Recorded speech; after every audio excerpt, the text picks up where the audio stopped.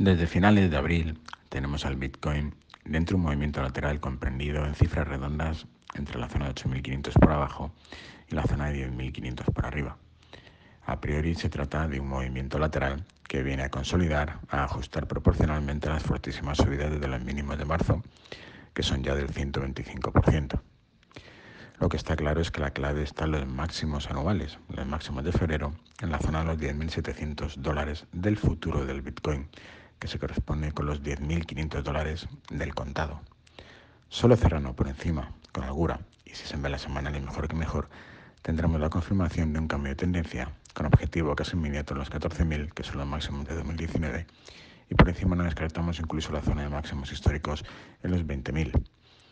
Las sensaciones son buenas, pero hasta que el Bitcoin no confirme de verdad por encima de los 10.500 dólares,